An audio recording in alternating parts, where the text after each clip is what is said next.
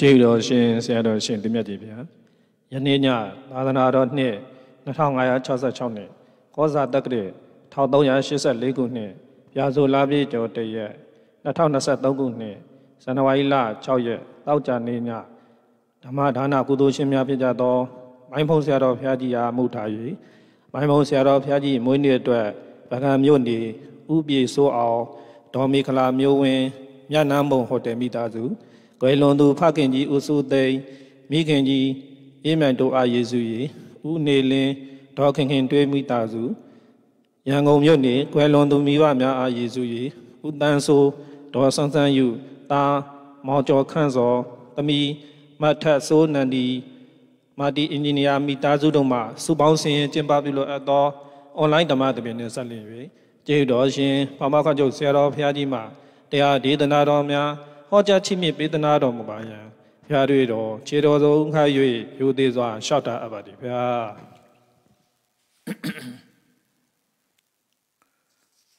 1384ခုနှစ်ပြတ်တော်လာပြီကျော်တရက်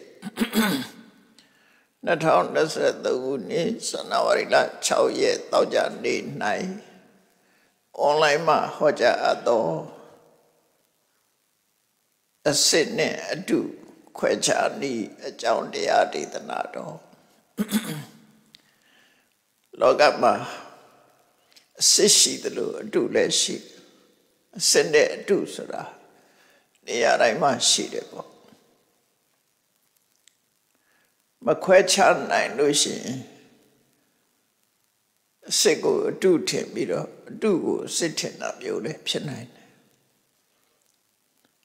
ဘယ်ဟာအစစ်ဘယ်ဟာအတူဆိုတာသိရှိနားလဲဖို့အကြီးတော့စိတ်မသာ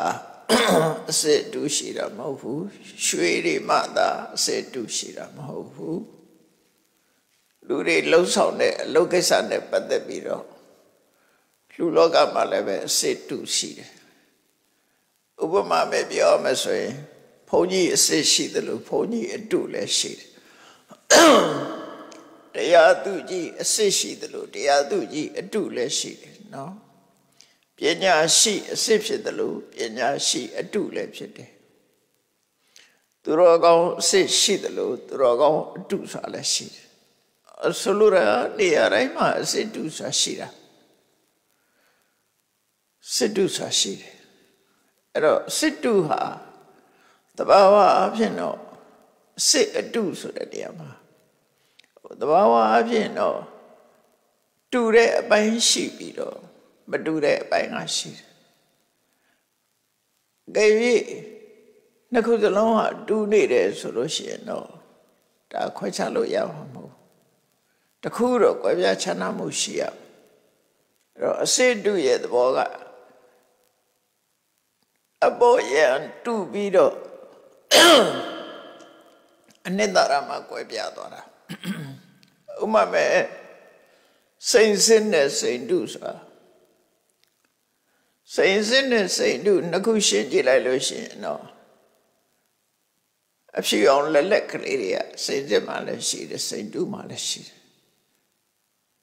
သို့တော့အနှစ်သာရပိုင်းကြည့်လိုက်တဲ့အခါကျတော့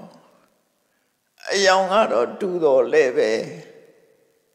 အလေးချိန်ကျန်တဲ့ အရေးချင်းညကွာသွားတယ်ရွှေစစ်နဲ့ရွှေတုဆိုတာရွှေစစ်နဲ့ရွှေတုဟာကြည့်လိုက်လို့ရှိရင်တော့တူသလိုရှိရတယ်အယောင်ကတော့သို့တော့တည်တည်ချာချာစစ်ဆေးကြည့်လိုက်တဲ့အခါမှာကွဲပြားချမ်းသာမှုတွေရှိဆိုလိုတာကအစစ်နဲ့အတူဖြစ်ရတာဟာအပေါ်ယံကြည့်ရင် တူးနေတာအပေါ်ယံကြည့်လိုက်မယ်ဆိုရင်တူတယ်သို့တော့အနှစ်သာရကိုကြည့်လိုက်မယ်ဆိုရင်ကွဲပြားတယ်သိတာထင်ရှားတဲ့ဟာကတူပြီးတော့မသိတာတဲ့အရာကကွဲပြားနေတယ်အဲ့ဒါကြောင့်မို့လို့အစစ်နဲ့အတူဖြစ်ရတာဖြစ်တယ်ပေါ့နော်စစ်နဲ့တူဖြစ်ဒါလည်းလောကကြီးမှာသိတဲ့သိလိုက်တဲ့ပညာရတစ်ခုပဲပေါ့ စိန်ကြောင်းကိုနားလေတဲ့ကျွမ်းကျင်တဲ့ပုဂ္ဂိုလ်တွေကတော့ဒါအစလားတူလားရေးချင်အပြည့်ခွဲချပြီးတော့ပြောနိုင်ကြတယ်ရွှေကြောင်းကိုသိတဲ့ပုဂ္ဂိုလ်တွေကလည်းပဲရွှေစစ်နဲ့ရွှေတုကွဲပြားခြားနာမှုဖော်ပြနိုင်ကြတယ်။တမန်ပုဂ္ဂိုလ်တွေကသိနိုင်လားလို့ဆိုတော့တမန်ပုဂ္ဂိုလ်တွေကမသိနိုင်ဘူး အဲ့ဒါကိုမြတ်စွာဘုရားဟောထားတဲ့တရားတွေနဲ့ပတ်သက်ပြီးတော့ဘောဓုတအဖြစ်မှတ်သားကြရအောင်မြတ်စွာဘုရားကတရားဟောတဲ့အခါမှာရှုတော်ဆုံးကဟောတာအကြောင်းပေါ်လာတဲ့အခါမှာထိုအကြောင်းကိုအကြောင်းပြုပြီးတော့ရှုတော်ဆုံးကဟောထားတာ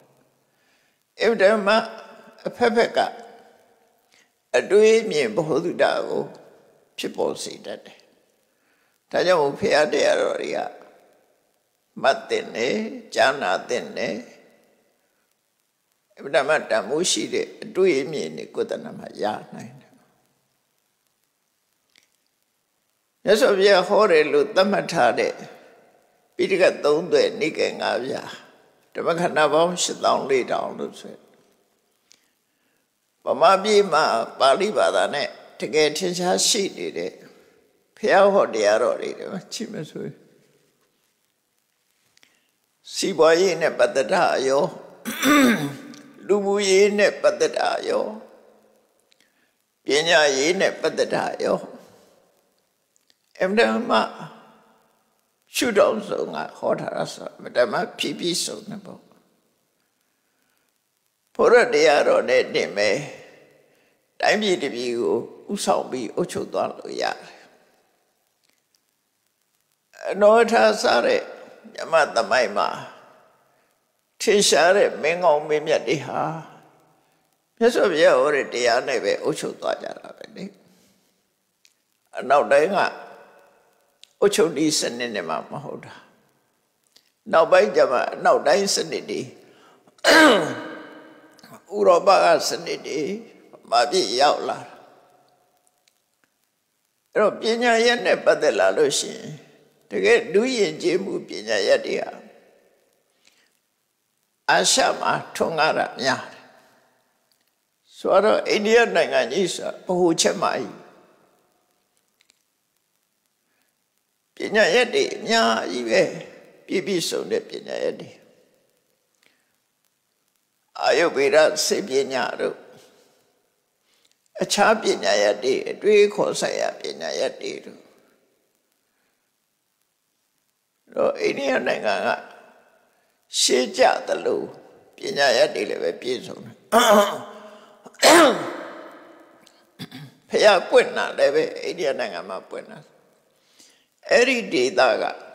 အသိပညာတတ်ပညာတွေများစွာထွန်းကားတာသို့တော့ခေတ်ဆိုတာထွန်းကားတဲ့အချိန်ရှိသလိုမထွန်းကားတဲ့အချိန်လည်းရှိတာပဲတစ်ချိန်တုန်းက ကြီးကျယ်ခန္ဓာခဲ့တော်လဲပညာရှိသည်ပေါ်များခဲ့တော်လဲတခိတခါကြတော့ပညာရှိတွေနေပသွားတဲ့အခြေအနေဆိုတာလည်းရှိတယ်ဒါတော့နိုင်ငံတိုင်းမှာဒါပြောကြောင့်လို့ဆိုရင်သာဝရပြောင်းလဲနေတဲ့လောကရဲ့သဘောသာလည်းဖြစ်တယ်ဘေးရမ ထာဝရတည်မြဲနေတာမရှိဘူးအလုံးအပြောင်းလဲမှုဆိုတဲ့နိယမကြီးရဲ့အုပ်စိုးမှုအောက်မှာရှိတယ်အတက်ရှိတဲ့အခါရှိတယ်ကြာရှိတဲ့အခါရှိတယ်တိုးတက်တဲ့အခါတိုးတက်တယ်နှိမ့်ကြတဲ့အခါမှာနှိမ့်ကြတယ်ပညာတတ်တွေပေါ်များတဲ့အခါရှိတယ်ပညာတတ်တွေနေပါတဲ့အခါရှိတယ်စီဝဥစ္စာတိုးတက်တဲ့အခါရှိတယ်စီဝဥစ္စာနှိမ့်ကြတဲ့အခါရှိတယ် တော့လောကကြီးရဲ့မမြဲတဲ့ပြောင်းလဲတတ်တဲ့သဘာဝတရားအရာဒါတွေကဖြစ်တည်ငြိမ်မှုမရှိဘူးဒါကြောင့်မို့တန်တရားထဲမှာဖြစ်နေတဲ့သင်္ခါရသဘာဝတရားတွေဟာတည်ငြိမ်မှုမရှိဘူးပေါ်လာလိုက်ပျောက်သွားလိုက်ဖြစ်လာလိုက်ပြတ်သွားလိုက် ဒီသဘောတရားတွေကရှိနေမှာပဲအကုန်ထူးချွန်တဲ့ပုဂ္ဂိုလ်ကြီးပေါ်လာလိုက်ပျောက်ကွယ်သွားလိုက်ဒီလိုရှိတာပဲမြန်မာပြည်နားမှာရှိတဲ့စိနရထလို့ရှိရခေါ်တယ်စိန်တိုင်းနောက်ပိုင်းကျတော့စိနကချိန ချိနကနေပြီးတော့အင်္ဂလိပ်တွေကဖတ်တဲ့အခါ China ဖြစ်သွားတာတကယ်ကတော့ချိနပဲသူကနော်မူရင်းစကားကချိနအဲ့ဒီချိနကနေ China China ကနေဗမာတွေကျတော့တရုတ်လို့ခေါ်တာပေါ့အဲ့ဒီနိုင်ငံကြည့်ပါလားပညာရှိကြီးတွေပေါ်ထွန်းလာခဲ့တယ်ပညာရှိကြီးတွေအမိတ်နေ အစိုးအမိတ်နေပုဒ္ဓတာစေကျန်နဲ့စေပညာရက်နဲ့ပတ်သက်လာလို့ရှိရင်တစ်ချိန်တစ်ခါတော့ရှမ်းရှမ်းတောက်ပညာရက်အစိုးအမိတ်အဆုံးမတွေနဲ့ပတ်သက်လာလို့ရှိရင် Confucius ဆိုပညာရှိပေါ်လာခဲ့တာလေအဲ့နိုင်ငံပဲလေအဲ့တော့လောကမှာထူးချွန်တဲ့ပုဂ္ဂိုလ်တွေဆိုထွက်ပေါ်လာတတ်တယ်ထွက်ပေါ်လာတဲ့အခါမှာအဲ့ဒီပုဂ္ဂိုလ်ရဲ့ အဆိုမိတ်တင်ကြပေးမှုအသိပညာတတ်ပညာတွေကတမှုမဖြတ်နိုင်တော့ရှိ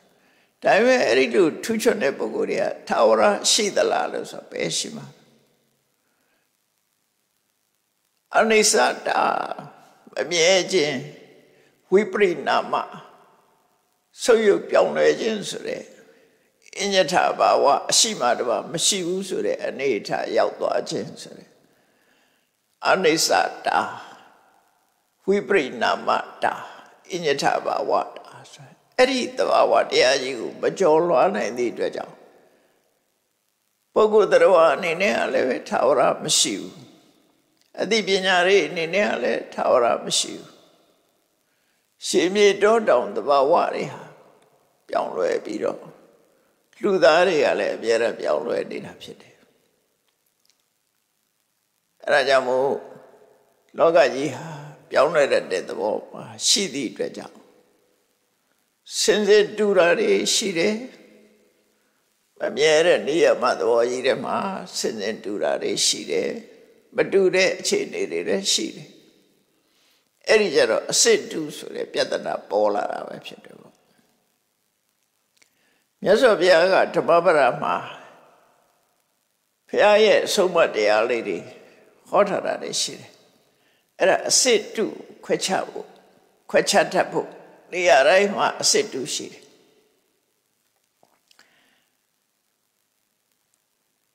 အဲ့ဓမ္မပဒထဲမှာဟောထားတာဘယ်အနေစာပြီးတော့ဟောထားတော့ဆိုဓမ္မထပါဠိဘာသာနဲ့ဓမ္မထတရားဥပရိပေါ်မှာ အခိုင်မှာယက်တီသူလို့အဓိပ္ပာယ်ရတယ်ဓမ္မထ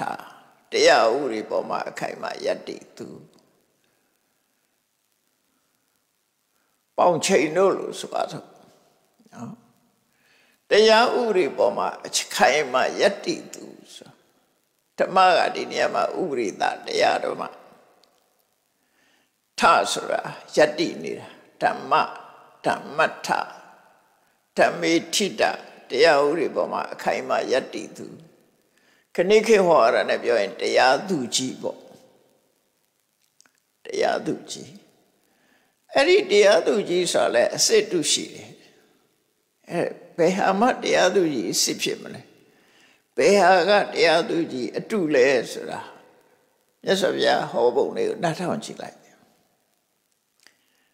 နတေနဟောတိဓမ္မတော ရှေနထံသာဟတာနေရှေနအထံသာဟတာနေအထဆိုတာအကြောင်းကိစ္စတရားယုံမှာဆုံးဖြတ်မရမယ် case ပေါ့နော်အဆုံးဖြတ်ပေးရမယ်အကြောင်းအရာအထလို့ခေါ်တယ်တရားဆွဲထားတဲ့အမှုခင်းအထအမှုခင်းအဲ့ဒီမှုခင်းကို သာဟတနေဥရိစိကနဲ့မကြီးပဲနဲ့လိမ့်လေပြီးအဂတိလိုက်ပြီးဥပရိကရှိရတဲ့နဲ့အဲ့ဒီဥရိလမ်းကြောင်းတိုင်းမဟုတ်ဖ ೇನೆ ဥရိလမ်းကြောင်းကိုသွေဖီပြီးတော့ဆုံးဖြတ်တာတဲ့ရှေနအထံသဟတာလေ ရှေနအကျင့်တရားသူကြီးဟာတရားသူကြီးဆိုတဲ့ပုဂ္ဂိုလ်ဟာအထံမှုခင်းကိုသာဟတာအနိုင်ကျင့်ပြီးတော့တရားသူကြီးဆိုတဲ့ဘာဝနဲ့အနိုင်ကျင့်တယ်ဥရိတောင်မသွားဘဲနဲ့တရားသူကြီးဆိုတဲ့လောက်ပိုင်ခွင့်ကိုရှူပြီးတော့ဆုံးဖြတ်တယ်ဆုံးဖြတ်တယ်ဆိုတာ တရားဥပဒေတိုင်မဟုတ်ပဲနဲ့နော်အနိုင်ကျင့်ပြီးတော့တူကိုအသာပေးတယ်တူကိုရှုံပေးတယ်တူကိုနိုင်ပေးပြီးတူကိုရှုံပေးတယ်အဲ့ဒါဥပဒေရမဟုတ်ဘူးဥပဒေစိကံနဲ့မဟုတ်ပဲနဲ့သူစိတ်ဓာတ်နဲ့သူအဲ့လိုပေးလို့ရှိရင်နတေနဟောတိဓမ္မထောတဲ့အဲ့ဒါတရားတို့မှမှ ယက်တည်တဲ့အခိုင်အမာယက်တည်တဲ့တရားသူကြီးမဟုတ်ဘူးတဲ့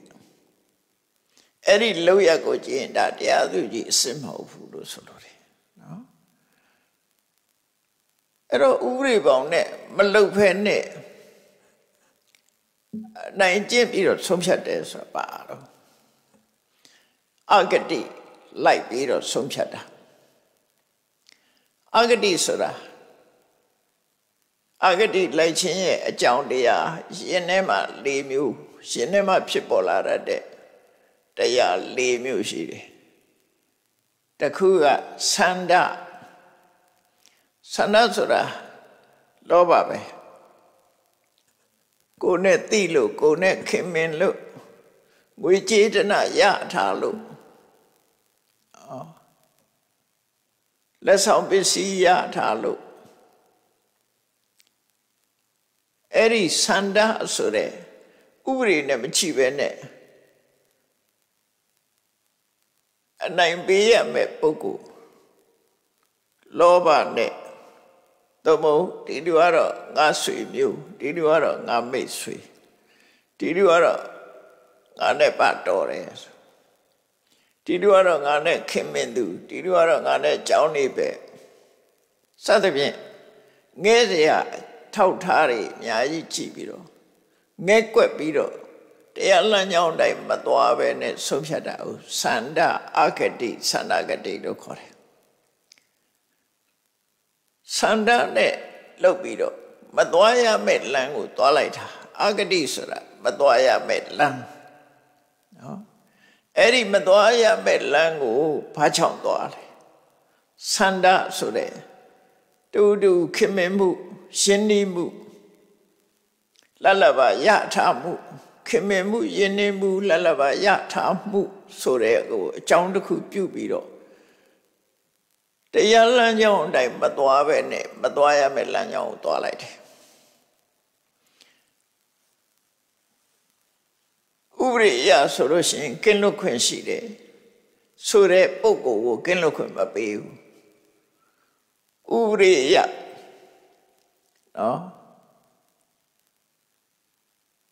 အပြစ်မရှိတဲ့ပုဂ္ဂိုလ်အပြစ်ရှိတယ်အပြစ်ရှိတဲ့ပုဂ္ဂိုလ်ကြတော့မရှိဘူးလို့လိုက်တယ်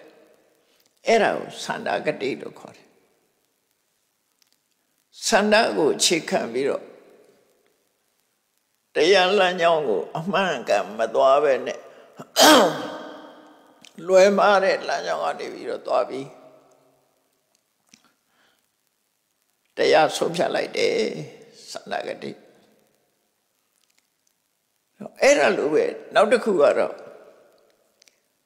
ခင်မင်းရအနိုင်ပေးတာမျိုးမဟုတ်ပဲနဲ့တစ်ဖက်ကနေကြည့်မဲ့ဆိုရင်အရှုံးပေးလိုက်တဲ့ပုဂ္ဂိုလ်ဘာချောင်အရှုံးပေးလိုက်လေအဲ့ဒီပုဂ္ဂိုလ်ကမလို့မုန်းတဲ့သူတစ်ချိန်တုန်းကရှမ်းသူဖြစ်တာတို့တစ်ချိန်တုန်းကစကားများဘူးတာတို့ကိုနဲ့မတဲတာတို့ ကိုမကြိုက်တာလှုပ်တာတို့နော်ကိုနဲ့အစင်မပြေတာအစင်မပြေတဲ့ပုဂ္ဂိုလ်ကိုရှုံပေးလိုက်တယ်အဲ့ဒါကြတော့ဒေါသအဂတိဒေါသဆိုတာမုံတိမှုကိုအခြေခံပြီးတော့မလိုက်ရမယ့်လမ်းကိုလိုက်လိုက်တယ်တရားလမ်းကြောင်းအတိုင်းမဟုတ်ဘူးအဲ့ဒီလိုလုပ်ရင်တရားသူကြီးအစ်မဟုတ်ဘူး တရားသူကြီးလို့ခေါ်ပြီးမှလို့မတရားသူကြီးဖြစ်သွားတယ်တရားသူကြီးအစ်မဖြစ်တော့ဘာလို့လမ်းကြောင်းလွဲသွားလေသူကမုံရင်မုံတဲ့စိတ်နဲ့သူကဆုံးဖြတ်တာတရားအမှန်ကန်မဆုံးဖြတ်ဘူးတခါနောက်တစ်ခုကျတော့ဒုတိယက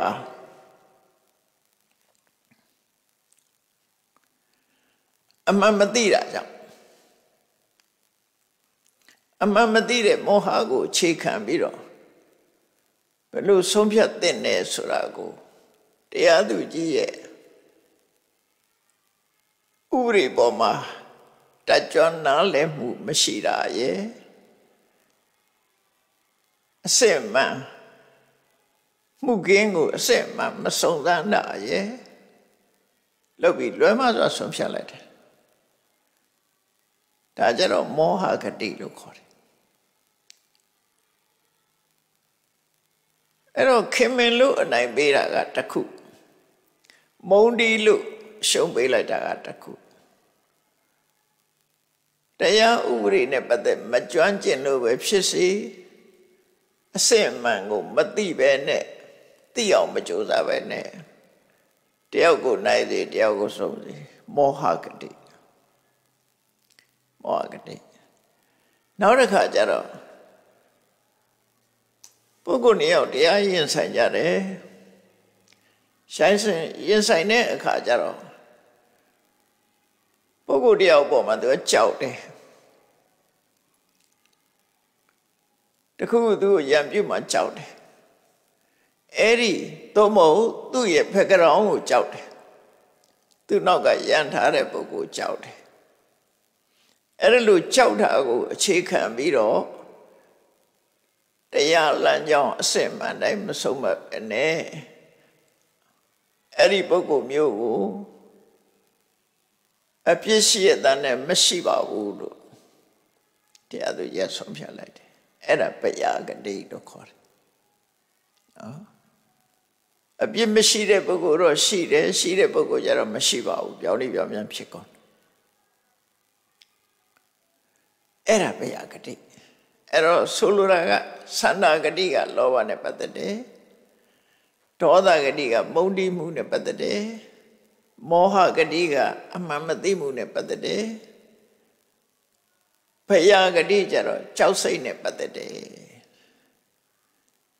အဲ့တော့ခင်မင်ခြင်းမုန်းတိခြင်းအမှန်မသိခြင်း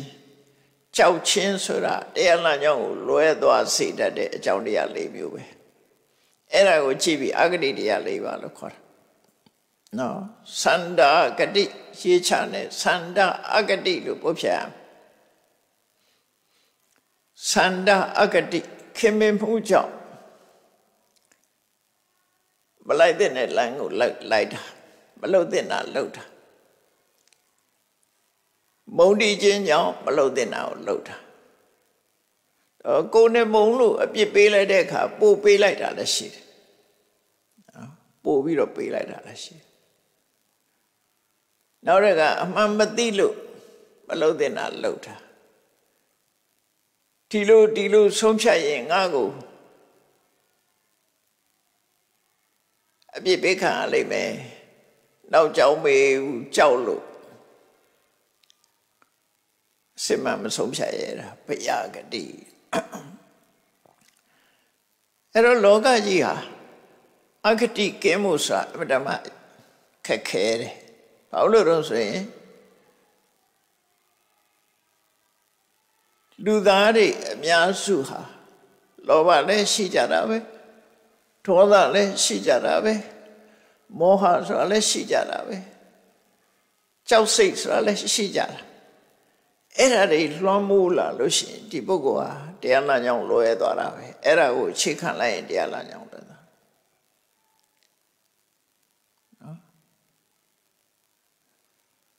အဲ့ဒါကြောင့်ဘုရားဆော်ပြားကနတေနဟောတိဓမ္မထောရှေနထံသာဟတာနေမင်္ဂန်နဲ့အကြောင်းတရားနဲ့မင်္ဂန်နဲ့ဒီလန်းနဲ့တရားဥပဒေနဲ့အညီဆုံးဖြတ်တာမဟုတ်ပဲနဲ့စိတ်ကိုလွှမ်းမိုးနေတဲ့ခင်မဲမှုမုံတီးမှု အမှန်မသိမှုကြောက်ရွံ့မှုဆိုတာတွေရဲ့လွှမ်းမိုးမှုခံနေရပြီးတော့တရားတစ်ပေါင်ကိုလွဲမှားစွာစီရင်ချက်ချတဲ့ပုဂ္ဂိုလ်သည်ဓမ္မထဥရိတရားပေါ်မှာယက်တည်တဲ့တရားသူကြီးမဟုတ်ဘူးတဲ့အစစ်မဟုတ်ဘူး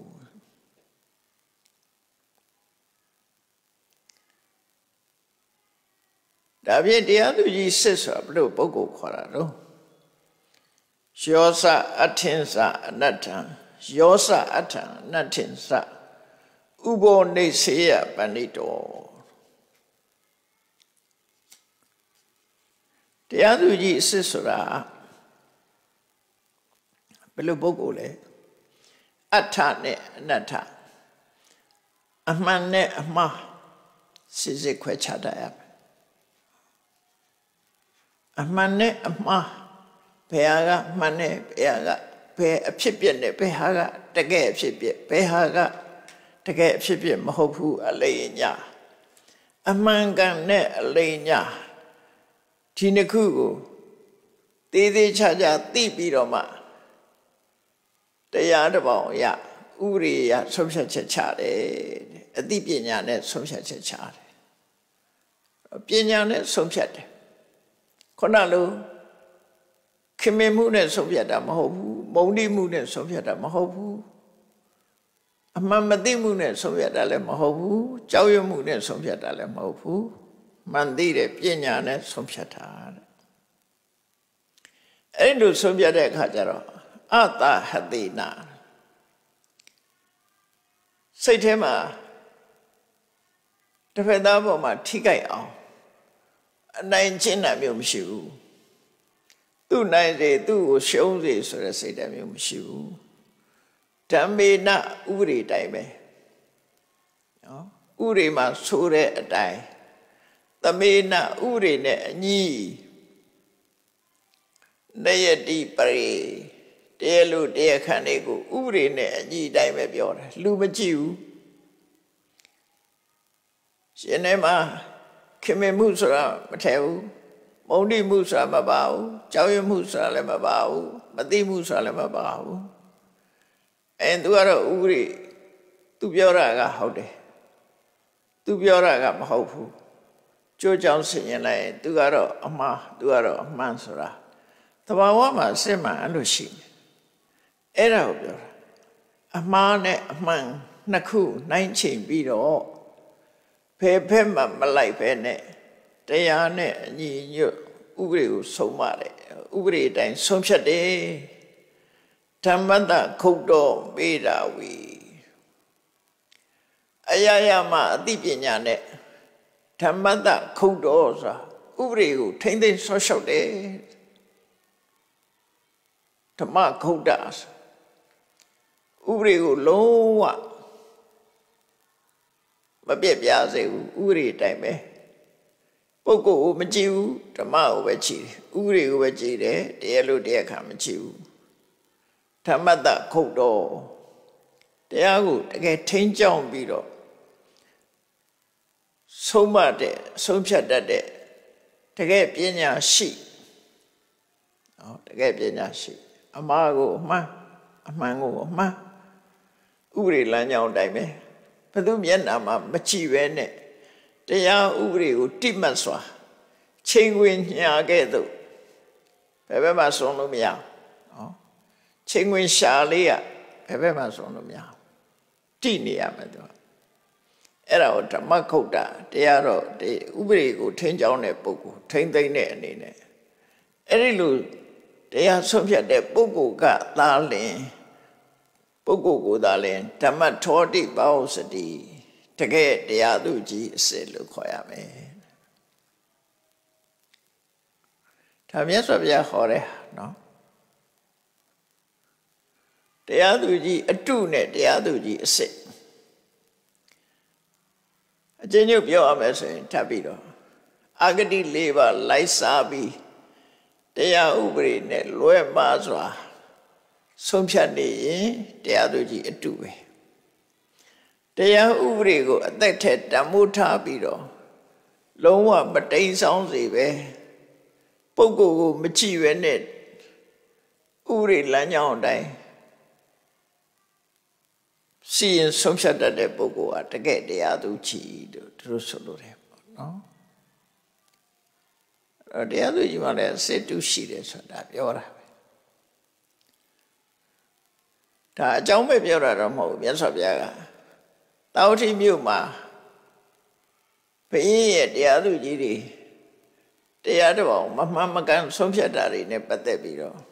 ဒီစံကိုသတ်မှတ်ပေးထားတာဒီလိုလို့ရင်သူတို့ကတရားသူကြီးခေါ်ပြီးမှလို့တရားသူကြီးအစ်မဟုတ်ဘူး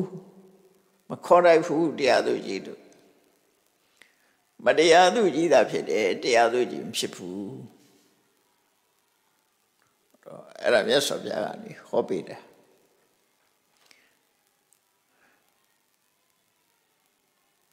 ထို့တူရဲ့နောက်တစ်ခုကပန္တိတအိန္ဒိယနိုင်ငံသုံးနေဆိုပန္တိတ်ပေါ့ပန္တိတ်ဆိုပညာရှိပန္တိတသင်္သန္တပန္ဒယတ္တိပန္တိတော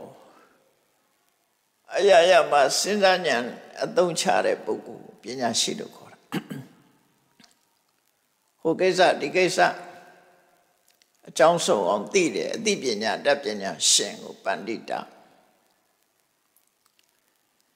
အဲ့ဒီပန္တိတမှာလည်းပဲစဉ်းစဉ်တူတာတွေရှိတယ်တကယ်အစ်စ်မဟုတ်ပဲနဲ့ပညာရှိအောင်ဆောင်တဲ့ပုဂ္ဂိုလ်ဟာရှိတယ်တကယ်ပညာမရှိဘဲနဲ့ပညာရှိအောင်ဆောင်နေတာအတုတကယ်ပညာရှိမှ ပညာရှိအစ်စ်ဖြစ်တာဒါကတခုအဲ့ဒါကိုလေမြတ်စွာဘုရားခွဲခြားပြီးတော့ဟောထားလောကမှာလူတွေကလူတွင်ကျဲလှုပ်ပြီးတော့လူလေကောင်မှထပြီးတော့ဘဝတုဒ္ဒရှိတဲ့အောင်ရောရတာတွေရွတ်ပြီးတော့ထပြောပြီးဖောင်းဖောင်းဖောင်းဖောင်းနဲ့ပြောတဲ့လူတွေကလည်းပညာရှိကြီးလို့ထင်ကြတယ်လေလူတွေကောင်ကထပြောပြီးတော့ပညာရှိကြီးတွေ သူမသိတာမရှိဘူးမတတ်တာမရှိဘူးအဲ့လိုမျိုးပညာရှိသွားတယ်အဲ့ဒါပညာရှိလားမြတ်စွာဘုရားကပညာရှိနဲ့ပညာရှိအတုနဲ့အစစ်ကိုဘလို့ခွဲပြတော့ဆိုနတ္တိနပဏိတောဟောတိယဝတ္တာဘဟုပါတတိအကြောင်းအရာတွေစုံနေအောင်ပြောတတ်ရုံနဲ့ပညာရှိမဟုတ်ဘူးတဲ့ ဟိုကိစ္စဆိုလဲ तू သိလိုက်တာပဲဘယ်အကြောင်းဆွေးနေဆွေးနေ तू ကုန်သိတယ် तू ပြောတယ်ဖောင်မောင်ဖောင်မောင်နဲ့လူလေကောင်မှာအာပေါင်းအာရင်တန်တန်ပြောနေတိုင်းပညာရှိမဟုတ်ဘူးတဲ့လောကမှာလူတွေကတော်တော်များများမှာဟိုတက်ရောင်ကားတွေအများရှိတယ်လေရှားရွတ်တွေတို့တက်ရောင်ကားတွေတို့အများရှိတယ် အဲ့ဒါပညာရှိခေါ်မလားလူလေကောင်မှာစကားဖောင်ပြီးတော့ဟိုအကြောင်းအရာလဲသူသိတယ်ဒီအကြောင်းအရာလဲသူသိတယ်ပြောနိုင်တယ်အဲ့ဒါပညာရှိလားဆိုတော့မြတ်စွာဘုရားကနတေနပဏိတောဟောတိရှာဝတ္တဘဟုပါတတိအဲ့ဒီလိုလူတွေကောင်မှစကားမြတ်မြတ်ပြောတတ်ရုံနဲ့ပဲပညာရှိခေါ်မလားဆို ခေါ်ဦးတဲ့အဲ့ဒီပုဂ္ဂိုလ်မျိုးပညာရှိလို့မခေါ်ဘူးတဲ့ဒါဖြင့်ပညာရှိဆိုတဲ့ပုဂ္ဂိုလ်ကဘယ်လိုပုဂ္ဂိုလ်တော့ဆိုပညာရှိဆိုတဲ့ပုဂ္ဂိုလ်ဟာခေမီအဝေရိအဘယောပဏိတော်တိပါစတိပညာရှိဆိုတဲ့ပုဂ္ဂိုလ်ဟာဖောင်းဖောင်းဖောင်းဖောင်းဟောင်းဖွားဟောင်းဖွားပြောရုံနဲ့ပညာရှိမဟုတ်ဘူးတဲ့ သူ့ကိုအကြောင်းပြုပြီးတော့ဘယ်သူမှဒုက္ခမပေးတဲ့လူဖြစ်ရမယ်နော်ခေမီအနေကင်းပညာရှိဆိုတဲ့ပုဂ္ဂိုလ်ဘယ်သူမှဒုက္ခမပေးဘူးဘယ်သူမှဒုက္ခရောက်အောင်မပြောစိတ်ကောင်းနှလုံးကောင်းမတန်းရှိတယ်ကုညီတတ်တယ်ခေမီအနေကင်းအောင်ဟောမိမိကိုယ်တိုင်အနေကင်းတယ်ဖေးကင်းတယ် သူများကိုဒုက္ခမပေးတဲ့ပုဂ္ဂိုလ်ဖြစ်ရမယ်အဝေရီရှန်သူကင်းတဲ့ပုဂ္ဂိုလ်ဖြစ်ရမယ်ရှန်သူဆိုတာကိုကျင့်တရားကောင်းတဲ့ပုဂ္ဂိုလ်ဖြစ်ရမယ်ဒီလိုဆိုလို့ရှန်သူဆိုတာဘာကိုပြောတာတော့ဆိုငါးပါးသီလကိုချုပ်ဖောက်နေတာရန်သူပဲသူဝေရလို့ခေါ်တယ်ငါးပါးသီလဝေရဒါကြောင့်မို့ဝေရမဏိဆိုတဲ့စကားလုံးကအဲ့ဒီအဓိပ္ပာယ်နဲ့ပါတယ် ပါဏတိပါတာဝေရမဏိသိက္ခာပရံသမာဓိယမိဆိုတဲ့အဓိပ္ပာယ်မှာဝေရမဏိဆိုရှောင်းကျင်နေဆိုတဲ့အဓိပ္ပာယ်ကတစ်ခုဝေရဆိုတာယံကိုမဏိကဖယ်ဖြောက်တာဆိုတဲ့အဓိပ္ပာယ်ကလည်းတစ်ခုနော်စာပေဖွင့်နေမှာနှမျိုးဖွင့်ထားတယ်ဝေရမနတိဝိနာသေတိတိဝေရမဏိ ငါးပါးသီလမှာသူများအသက်မတတ်ဘူးဆိုတဲ့ပုဂ္ဂိုလ်တယောက်ဟာသူများအသက်ကိုတတ်ချင်းကြောင့်ဖြစ်ပေါ်လာတဲ့ဖေးရန်အနေနဲ့သူမှမရှိဘူးတနည်းအားဖြင့်သူများကိုတတ်ချင်းအားဖြင့်သူများကိုဒုက္ခပေးတာမလုပ်ဘူးဟောငါးပါးသီလဆိုတာသူများဒုက္ခပေးတာလေသူများအသက်တတ်တယ်သူများဥစ္စာခိုးတယ်သူတော်ဘာသမယစောကပြက်မှားတယ်လိန်ပြောတယ်ကိုတော့ကိုကမှမဟုတ်တာ သူများဒုက္ခရအောင်လုပ်တာလေအဲ့ဒါတွေတကယ်ရရနေပဲအဲ့ဒီရနေကင်းနေတယ်လို့ဆိုလို့တယ်အဲ့တော့ပညာရှိဆိုတဲ့ပုဂ္ဂိုလ်ဟာဒီအလုပ်တွေမလုပ်ဘူးသူကသူကိုယ်တိုင်ကဘေးရန်အနေကင်းတယ်ဘသူကိုမှရှန်တတ်တူမပြုတ်ဘူးဟောဒါဟုတ်ဆိုလို့တယ်အဝေးရီဝေရဆိုတဲ့ရန်ကင်းတယ် အဲ့ဒီမဲ့ဝိသေဝသုံးတာလည်းပဲရန်ထဲမှာထည့်ထားတယ်ဝိသေဝသုံးတဲ့လူကကျန်တဲ့ပုဂ္ဂိုလ်ရန်လောက်တာပဲလေဝိသေဝဆွဲနေရင်လူတမှုလည်းကျွလွန်နိုင်တာပဲခိုးမှုလည်းကျွလွန်နိုင်တာပဲရိတ်လောက်တာလည်းကျွလွန်နိုင်တာပဲလိန်တာလည်းကျွလွန်နိုင်တာပဲသူကဝိသေဝအမှုသမားအကုန်လုံးလို့ရအဲ့တော့ အဲ့ဒီငါးခုကိုဝေရလို့ခေါ်တယ်အဲ့ဒီဝေရဆိုတဲ့ငါးမျိုးကင်းတာကိုအဝေရီ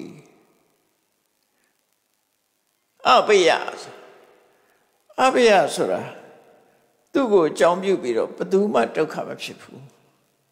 သူဟာကြောက်เสียပုဂ္ဂိုလ်မဟုတ်ဘူးခင်မင်းเสียပုဂ္ဂိုလ်သာဖြစ်တယ်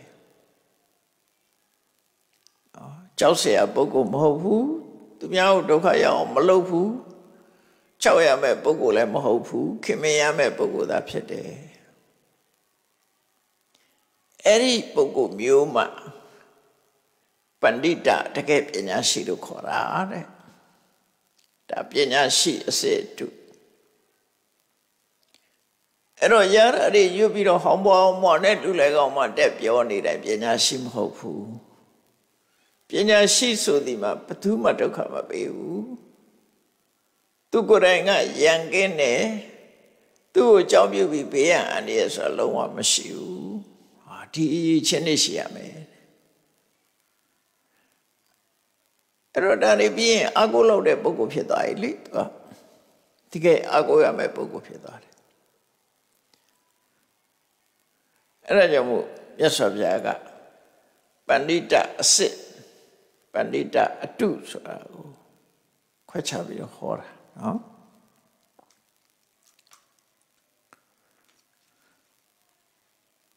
နောက်တစ်ခုက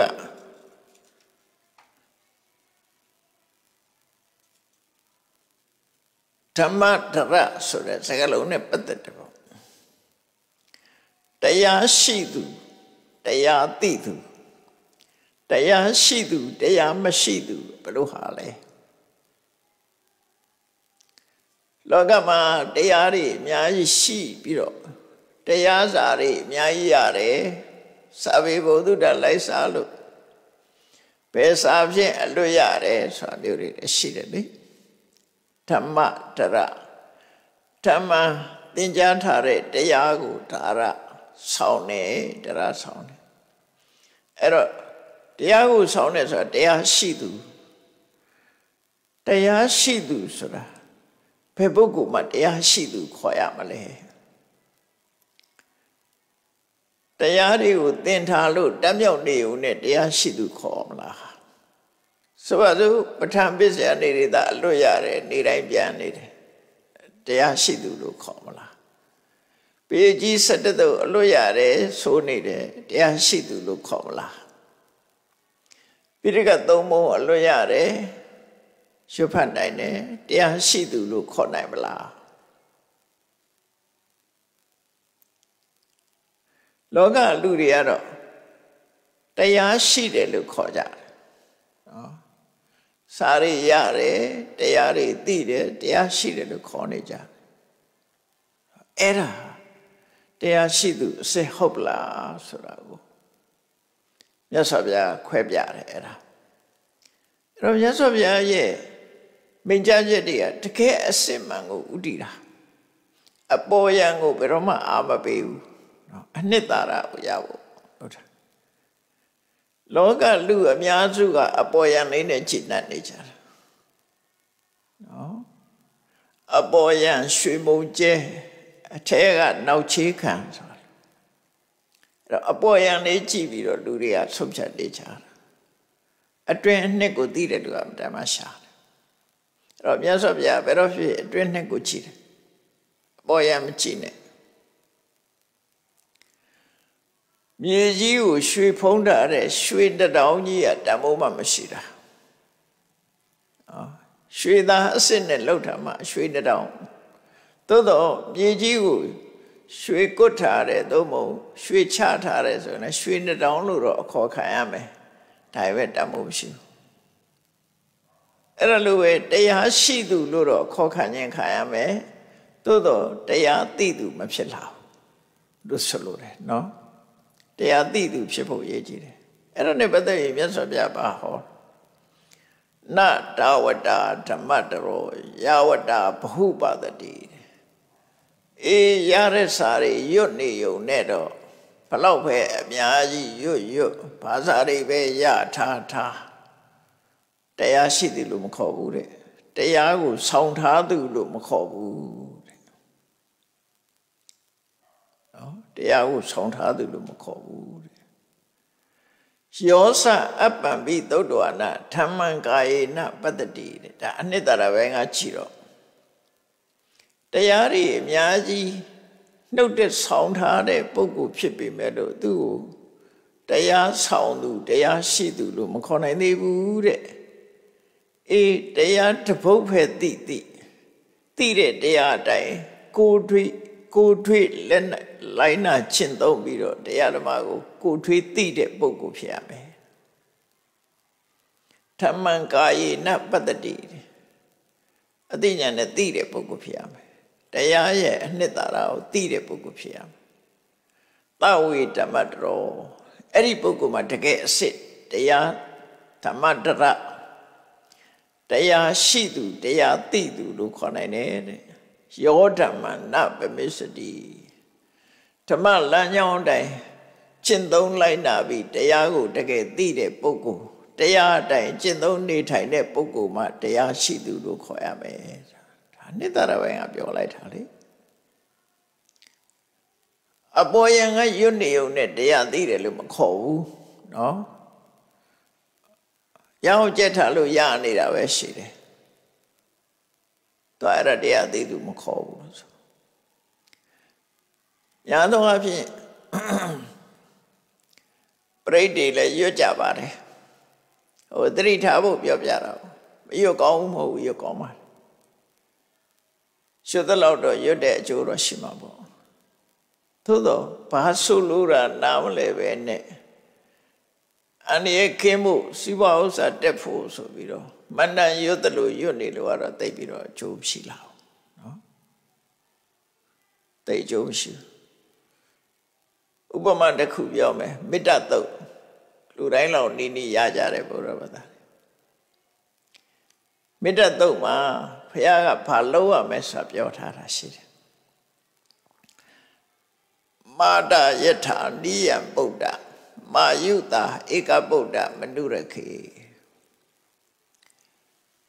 သာသမီတူရဲထွန်ကားတဲ့မိခင်တယောက်ဟာသူ့ရဲ့ချစ်ခင်တဲ့စိတ်တွေဟာ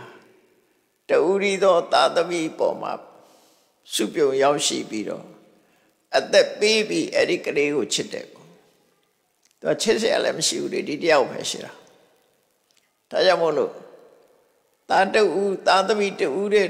ထွန်းကားတဲ့မိခင်ရဲ့မေတ္တာချစ်ကြိုးစားပါလို့ဘုရားဟောတာဆိုလိုတာကမိဘကတူရီသောသာသမီပေါ်မှာမေတ္တာထားနိုင်တယ်လို့တရဝရီပေါ်မှာထားနိုင်အောင်ကြိုးစားပါလို့ဘုရားဟောတာဟော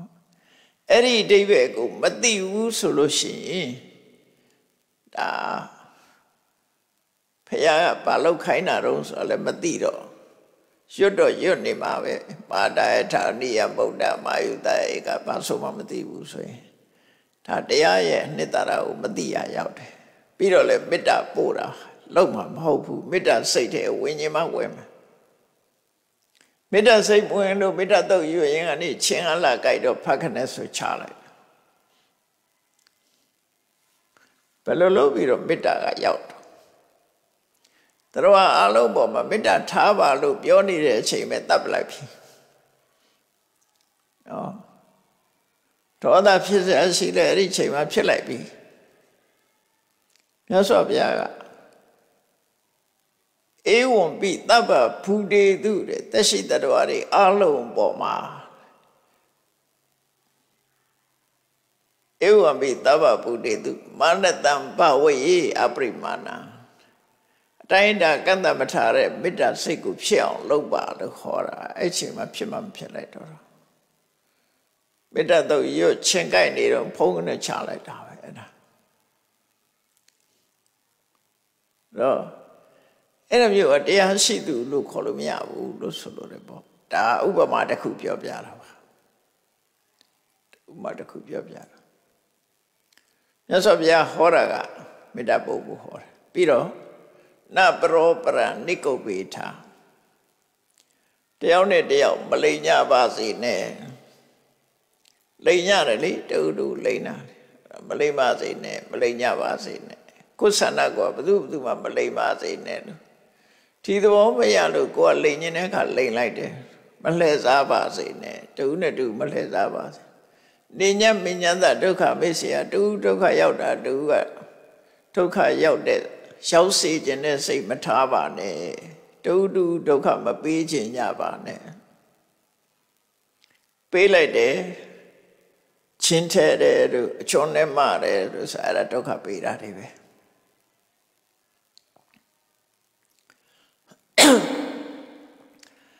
အဲ့ဒါတွေကဒီစာရိသိရတဲ့နဲ့လုံနေလို့ရှိရင်ဒါ တရားမရတာဖြစ်တယ်ပေါ့တရားမသိတာဖြစ်တယ်သို့မမလိုက်နာတာပဲဖြစ်တယ်အဲ့လိုဟာတွေအများကြီးရှိတယ်ပေါ့နော်မြတ်စွာဘုရားရဲ့ဆုံးမတရားတွေကတကယ်လိုက်နာကျင့်သုံးရမယ့်တရားတွေကြီးပဲဒါကြောင့်မို့ယောစအပ္ပံပိသုတ်တော်အနာသူအများကြီးမရဘူးစပေးနေတယ်မြတ်စွာဘုရားရဲ့အဆုံးအမတွေအများကြီးသင်ယူထားတာမရှိဘူးအနည်းငယ်လေးပဲရှိတယ် ရှိထားတဲ့အတိုင်းအဲ့တိုင်းလိုက်နာတယ်နော်အဲ့တိုင်းသိအောင်ကြိုးစားတယ်ယောဓမ္မနပမိစတိဓမ္မပေါ်မှာဘယ်တော့မှမေ့လျော့ပြီးတော့မနေဘူးလိုက်နာကျင့်သုံးတယ်ဆိုရင်သဝေဓမ္မတရောဟောတိအဲ့ဒီပုဂ္ဂိုလ်ကမှတကယ်တရားရှိသူတရားသိသူဖြစ်ပါတယ်အစစ်နဲ့အတူဆိုတာအဲ့ဒါအများရန်ရှိနေမှာပဲเนาะ နောက်တစ်ခုကတော့ရှိသေးတယ်လူကြီးအသက်ရွယ်ကြီးတာနဲ့လူကြီးဖြစ်သလားအသက်ရွယ်ကြီးတိုင်းလူကြီးလားနော်အသက်ငယ်ပြီးတော့လူကြီးမဖြစ်ဘူးလားအဲ့တော့အသက်ကြီးခြင်းအသက်ငယ်ခြင်းကအထစ်ကမဟုတ်ဘူးတဲ့လူကြီးဖြစ်ဖို့ရအတွက်ကအရေးချင်းရှိသေးတယ်အဲ့ဒါနဲ့ပတ်သက်ရင်မြတ်စွာဘုရားခွဲဟောတာအ ဗဒမမှတ်သားစရာကောင်းတယ်လူကြီးကိုထေရလို့ခေါ်တယ်ထေရဆိုတာအကျင့်သိက္ခာခိုင်မာသူလို့အဓိပ္ပာယ်ရတယ်ထေရဝါဒဆိုရီရဟန္တာငါတွေထဲမှာဆိုရင်ဝါ20ကျော်ရင်ထေရလို့ခေါ်တယ်ဝါဝါ10ဝါကျော်ရင်ထေရဝါ20ကျော်ရင်မဟာထေရထေရဆိုတာထိရခိုင်မြဲသူကိုကျင့်သိက္ခာနဲ့ပတ်သက်ပြီးခိုင်မာသူ ဒီလိုအဓိပ္ပာယ်နဲ့ရတယ်လူကြီးဆိုတာအသိပညာခိုင်မာသွားရမယ်နော်ထေရအဲ့တော့မြတ်စွာဘုရားဟောထားတာခင်းနဲ့အမတမကြိုက်တယ်နတေနထေရောသောဟောတိယေနတပလိတံတိရောခေါင်းပေါ်ကသပင်ဖြူတာနဲ့လူကြီးမဟုတ်ဘူးတဲ့အဲ့ဒါသပင်ဖြူတာခုမှမဟုတ်ဘူး ရားလက်ထက်ကလည်းဖြူတယ်တွန်ခဲ့တဲ့နှစ်ပေါင်း1600ကလည်းဖြူခဲ့တယ်2600ကလည်းဖြူခဲ့တယ်အဓိကထားကြည့်ပေါ့နော်နတ္တေနထေရောသောဟောတိယေနတ္တပလိတံတိရောခေါင်းမောဆွေနေဖြူယုံနဲ့လူကြီးမခေါ်နိုင်ဘူးတဲ့ဆိုလိုတာအသက်ကြီးယုံနဲ့လူကြီးမဟုတ်ဘူးလို့ပြောတာ ရိပက်ကောဝယောတတပလိတံတိရောဆိုတာတရရေးနဲ့ပတ်သက်ပြီးပြောမယ်စကလုံးထားသူလေးอ่ะတိရောကြတော့အောနဲ့ထားပြီးတော့ပလိတကြတော့ပလိတံလို့ထားတယ်လိန်အားဖြင့်ချင်းတာနဲ့ပြောမယ်ဆိုလို့ရှိရင်ပလိတံကနှစ်ပုံးလေးနော်နှစ်ပုံးလေး နဲ့ဘာကြောင့်ထားလဲပလိတောတိရောလို့ဘာကြောင့်မသုံးသလဲဒါ grammatical point လေးကိုပြောပြတာ grammatical point အုပ်စုလိုက်ရှိတယ်သူကအဲ့ဒီမှာပလိတံတိရောလို့ဝိသေသနာအထူးပြုတဲ့ပုဂ္ဂိုလ်ကနှစ်ပုံးနဲ့ထားပြီးတော့ဟိုကကျတော့ all နဲ့ထားတယ်ဒါကသူ့ရဲ့ဟို usage ပေါ့ သုံးပုံသုံးနေရပလိတော်တိတော်လို့မသုံးပလိတံတိတော်ပဲသုံးသို့တော့နောက်တစ်ပိုက်ကျတော့ပရိပက်ကောဝယောတတဆိုဝယောကအောနဲ့ထားတယ်အဲ့ဒီဝယောရဲ့ဝိသေသနာသဘောဖြစ်တဲ့ပရိပက်ကကြတော့ခဏကရမတိကရူရပြောမယ်ဆိုရင်နှစ်ပုံးလိမ့်ထားအခုဒီမှာပုံးလိမ့်ဖြစ်နေဒါလွယ်မနေတာလည်းဖြစ်နိုင် အဲ့တော့ဘလို့ဘလို့ရှိတဲ့နော်ဆိုပရိပက်ကံဝယောတတလို့ရှိရသို့တော်လည်းပဲအမှားကြရင်အမှန်ဖြစ်တယ်ဆိုပြောင်းနေတဲ့အခါပြိပက်ကိုဝယောတတပဲဖြစ်နေတယ်ခဏဒီစာအုပ်တွေထဲမှာအဲ့တိုင်းပဲရှိတကယ်တော့ထုံတန်းစလာခရမတိကရူရချိလိုက်မယ်ဆိုရင်ပြိပကံဝယောတတလို့ရှိတဲ့နေပေါ့နော်ဒါဘုသူတပြောပြတာ အဲ့တော့ယေနတ္တပလိတံတိတော့သူခေါင်းပေါ်ကစပင်းနေဟာခေါင်းဟာဖြူခြင်းဖြူနေပြီအဲ့ဒီခေါင်းဖြူယုံနဲ့တော့လူကြီးမဖြစ်ဘူးတဲ့ဆိုလိုတာအသက်ကြီးုံနဲ့လူကြီးမဖြစ်ဘူးဒါပြင်လူကြီးမခေါ်ရင်ဘယ်လိုခေါ်ရမလို့ဆိုပရိပက်ကောဝယောတတသူ့အရွယ်ကတော့အိုမင်းရင်းရော်ပြီးတော့ရင်းမဲ့နေတဲ့အရွယ်ဖြစ်လို့တဲ့ ခေါ်ခြင်းခေါ်မဲ့ဆိုရင်ဘောဂစိတ်နာအတုံးမဝင်နဲ့အဖိုးကြီးလို့ပြောခြင်းပြောတယ်မောဂစိတ်နာဆိုအချင်းဤအိုမင်းသွားသူလို့ပဲဆိုရမယ်အရင်ချင်းမဲ့ပြီးတော့အိုမင်းနဲ့သူစိတ်နာဆိုတာလူအိုပေါ့အရင်ချင်းကဲ့မဲ့တဲ့လူအိုလို့ပဲပြောလို့ရတယ်လူကြီးလို့မခေါ်ရဘူးလို့ဆိုလို့တယ်ထေရဆိုတဲ့ခုံမုတ်နဲ့မထိုက်တန်ဘူးပေါ့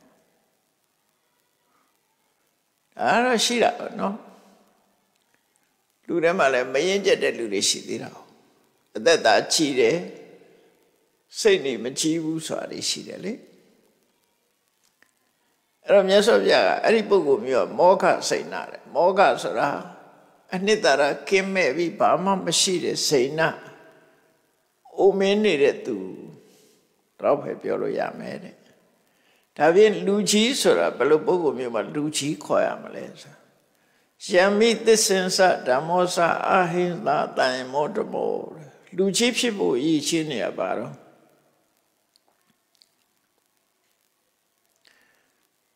သစ္စာတရားရှိရမယ်လူတယောက်မှာ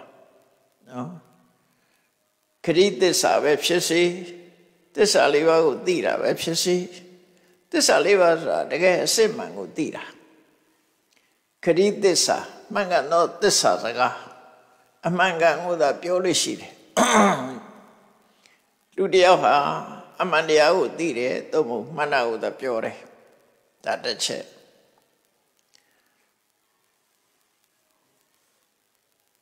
ဓမ္မောဆိုတာ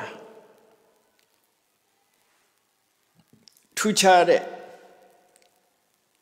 အတိညာမြင့်မာတဲ့လောကုတ္တရာတရားတဲ့ အဲ့တော့ဒါကတော့အထက်ကရာဖွင့်အောင်ပြောတာအထက်ကရာကတော့ဟိုသူကဒီလိုပဲဖွင့်တတ်တယ်ပေါ့အဲ့တော့အထက်ကရာဖွင့်မှတပါပြောမယ်ဆိုလို့ရှိရင်သစ္စာဆိုတာမနာကိုသာပြောတတ်တဲ့သစ္စာခရီးသစ္စာရှိတယ်ဓမ္မဆိုတာပညာရှိတယ်နော်နောက်တစ်ခါအဟိတဆိုတာ ဘယ်သူမှမဒုက္ခမပေးဘူးအလုံးပေါ်မှာမေတ္တာရှိတယ်အကျဉ်းနာရှိတယ်သူကြီးဆိုတာအလုံးပေါ်မှာမေတ္တာထားတယ်အကျဉ်းနာတရားထားတယ်တန်ယမဆိုတာစောင့်စည်းမှုရှိတယ်မဆောင်စည်းလို့ရှိရင်ဟိုစောင့်စည်းတယ်ဆိုတာ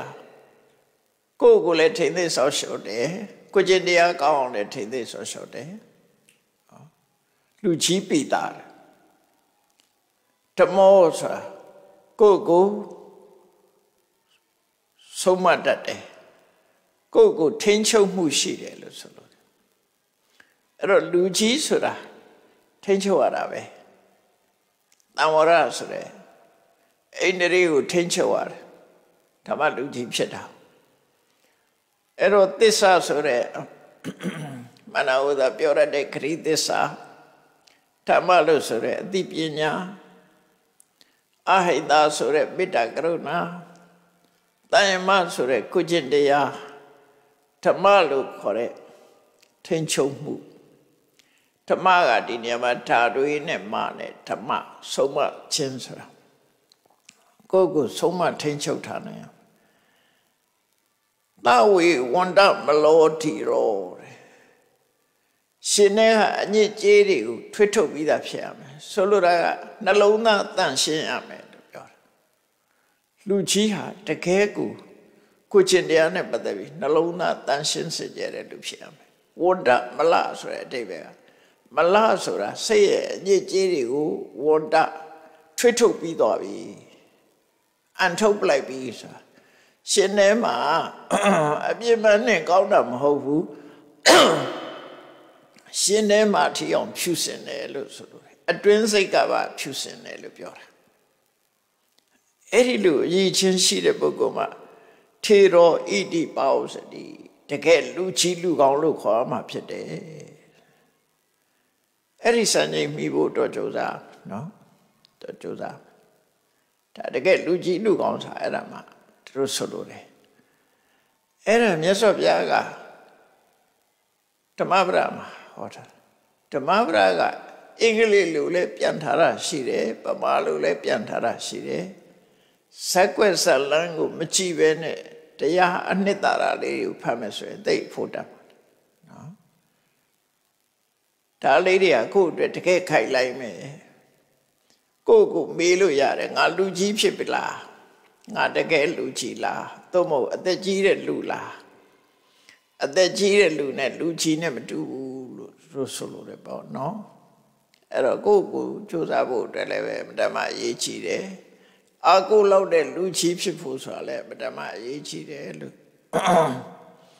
အဲ့တော့စစ်တုနဲ့ပတ်သက်ပြီးတော့မြတ်စွာဘုရားဟောထားတဲ့အခုဟောထားတဲ့အချက်ကလေးတွေကိုကြည့်ပြီးတော့အစစ်တုခွဲခြားပြီးတော့မိမိတို့ကိုယ်တိုင်အစစ်တုလည်းခွဲခြားသိမယ် ကိုကိုယ်တိုင်လည်းအစစ်ဖြစ်အောင်ကြိုးစားမယ်ဆိုရင်လုံလောက်တဲ့အသိပညာကိုပေးနိုင်တဲ့တကယ်အခိုင်လိုက်နေဖြစ်တယ်ဆိုတာမသားကြရမှာဖြစ်တယ်တရားချစ်ခင်သူတော်စင်ပြိဿအပေါင်းတို့မြတ်ဗုဒ္ဓရဲ့ဆုံးမများအဗ္ဗမတန်ဖိုးမဖြတ်နိုင်လောက်အောင်ကောင်းမြတ်တဲ့အတွက်ထိုကောင်းမြတ်တဲ့မြတ်စွာဘုရားရဲ့အဆုံးအမတွေကိုရင်နဲ့နှလုံးနဲ့ရောက်အောင်ထိုတွေကျင့်ကြံကြုတ်ကုတ် အထုတ်တဲ့တယ်လို့မှတ်သားပြီးကြိုးစားအထုတ်နိုင်ကြပါစေကုန်သတည်း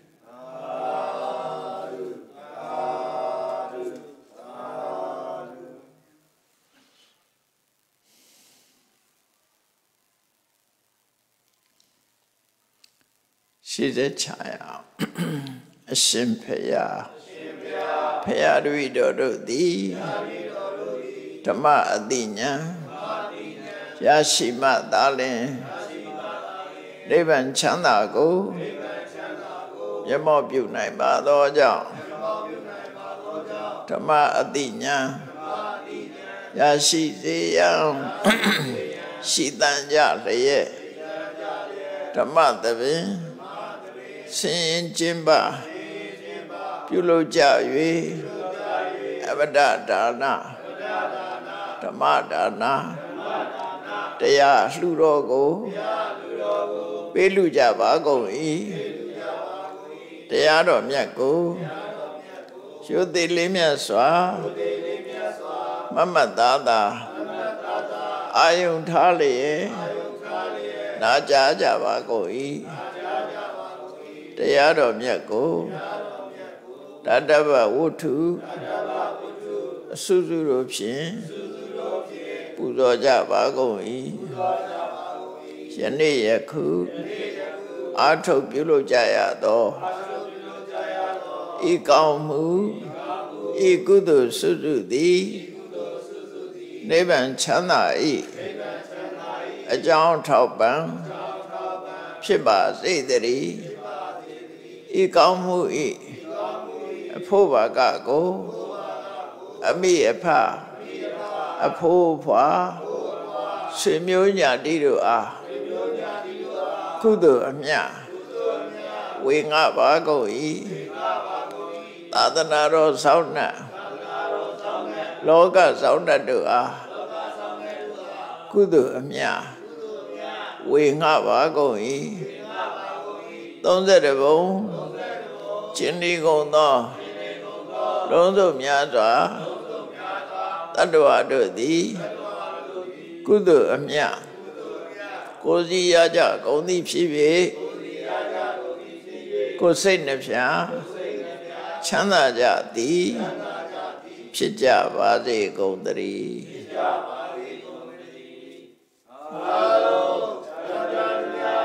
အမြအမြအမြယူတော်